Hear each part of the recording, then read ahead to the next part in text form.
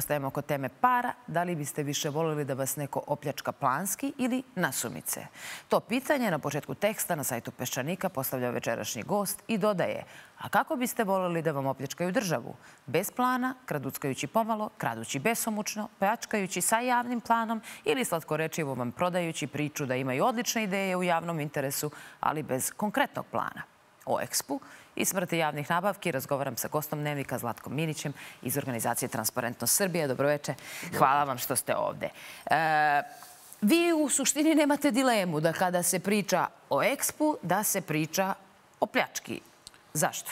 Pa, vrata za pljačku su širom otvorena i sada treba da se zapitamo e, ko će to biti ovaj, toliko imati toliko skrupule ili biti toliko moralan da neće proći kroz ta vrata.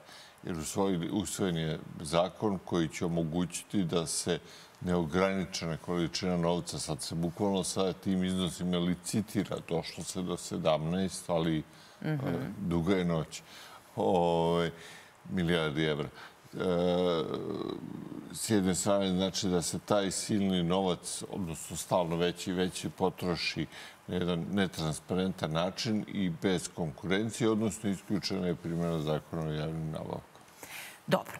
Vi u tom tekstu koji ja e, pominjem, koji ste pisali za Peščanik, kažete između ostalog da je transparentnost dobila odgovore dva ministarstva, odnosno što se kaže potvrdu crno na belo, da ne postoji e, taj skok u budućnost, ili tako, kao konkretan program, odnosno kao dokument javne politike. Kome ste pisali, šta su vam odgovorili?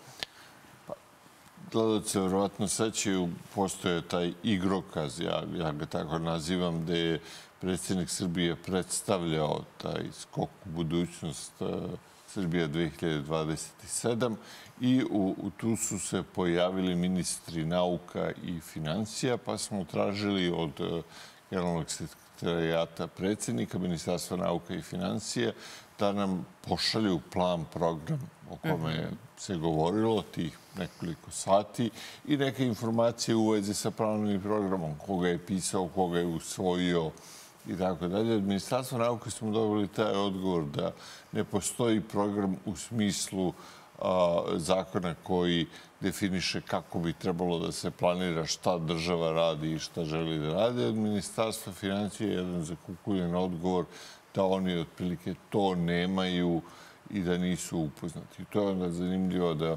Ministarstvo financije, čiji ministar predstavlja plan ne samo tada, nego i nekoliko puta posle po raznim medijima, nema ništa. No, ovaj, od generalnog sekretarijata predsjednika, kao i obično, ništa nismo dobili, pa ćemo uputiti urgenciju i tužbu.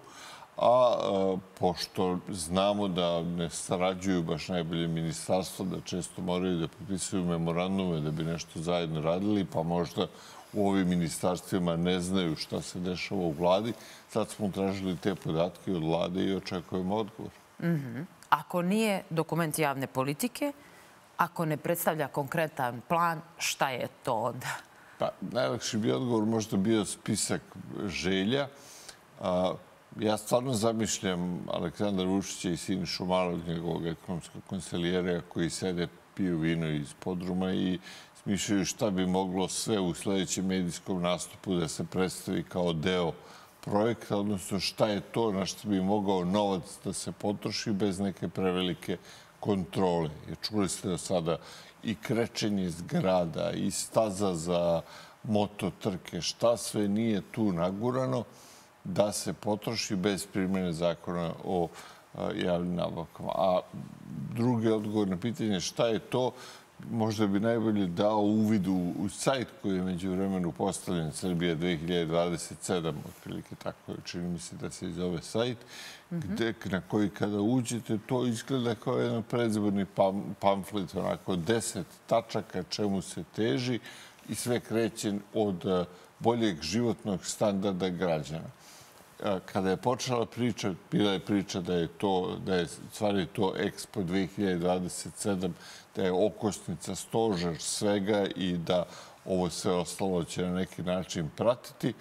Pa smo sad došli do boljeg života građana. Složit ćete se to zvuči kao predizborna platforma, a ne kao strateški plan razvoja za nekoliko godina i ulaganja za Expo. Ali kako onda vi razumete, juče je stigla vest, predsjedništvo eh, je objavilo da je predsjednik eh, države imao sastanak sa eh, misijom MMF-a i sad kaže razgovaralo se o kapitalnim ulaganjima i finansiranju projekata u okviru investicijonih planova vezani za sveobuhvatni program rasta Skoku budućnost Srbija 2020.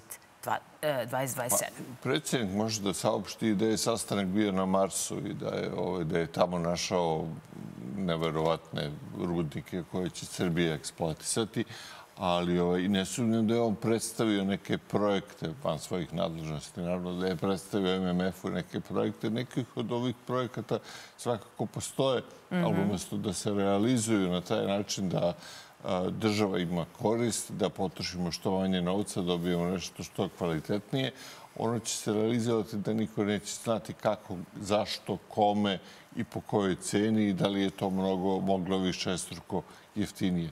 Imali smo Srbije 2025. Također smo tada dobili odgovor da ne postoji kao program ili plan, a sada vidimo da neke ogromne investicije koje su tada pominjene kao deo tog plana su se prebacile u ovaj plan Srbija 2027.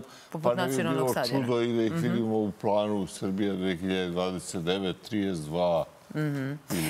Je li vama jasno zašto država jednostavno ne promeni propise, da ne izgleda ovako ko da se nešto radi suprotno dobroj praksi? Mi godinama slušamo da taj e, zakon o javnim nabavkama zapravo se izbegava.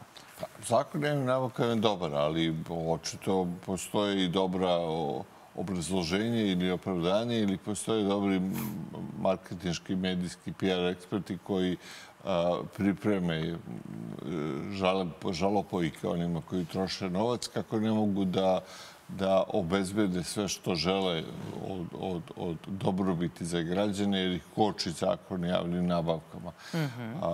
I sad smo se mi našli u situaciji da se ogroman novac troši ili po direktno po međudržavnim sporazumima bez primjene zakona i javnim nabavkama ili se donose neki specijalni zakoni za pojedinačne projekte, na primjer kao Moravski koridor, Samo ovo da vas pitam. To obrazloženje koje ste sad pomenuli pominje se za Tiršovu 2, pominje se za kanalizaciju na levoj obali Dunava.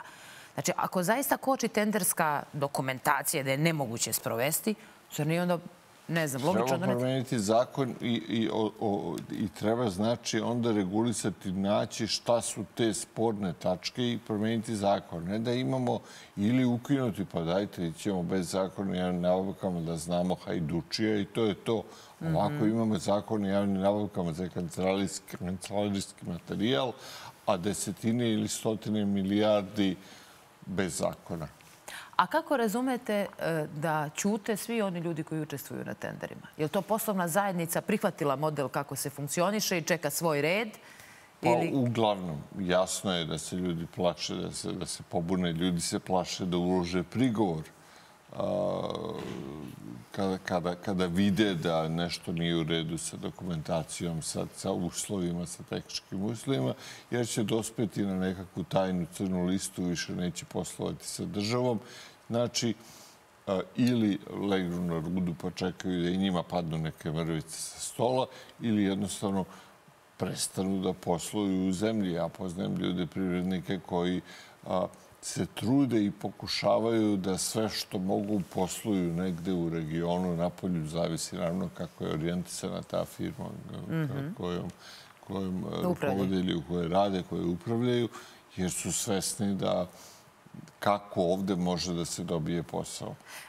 Moram još ovo da vas pitam. Sad smo pogledali priču Jelene Kikić o ovom jedinstvenom e, broju 112. Kina je donirala, Aleksandar Vulin je tada e, to objavio, 25,6 miliona evra za zapravo čitav taj sistem da bi mogao da funkcioniše, a onda su organizacije tražile e, da dobiju po javnom pristupu informacijama podatke o toj donaciji, čega se ona tačno tiče i odbijeni su ti zahtevi sa pričom da se ne ugroze kao jedan od razloga e, odnosi e, dve zemlje. Šta bi moglo da bude sporno u tako jednoj ogromnoj donaciji pa da to mora se krije? Pa, možda bi to moglo ugroziti i neke odnose sa nekim drugim zemljama kojima se ne sviđa kada sa Kinom radimo neke stvari koje mogu da se tiču podataka građana, koje mogu da se tiču bilo kakvih osjetljivih informacija. Ali ono što dobro znamo jeste da netransparentnost je nešto što ovdje dobro uspeva i što se neguje. I mi smo dosegli visoke nivoje transparentnosti i za mnogo lakša, banalnije pitanje koja verovatno nisu toliko škakljiva kao što je pitanje odnosa sa Kinom i koji sežu čak i do nekih podataka gde se uključuju bezbednostne strukture, nećete dobiti odgovor i onda zaista nije iznenađenje kada se kriju podaci o donaciji. Hvala vam što ste bili gost Dnevnika. Za naš program govorio je Zlatko Minić iz Transparentnost Srbija.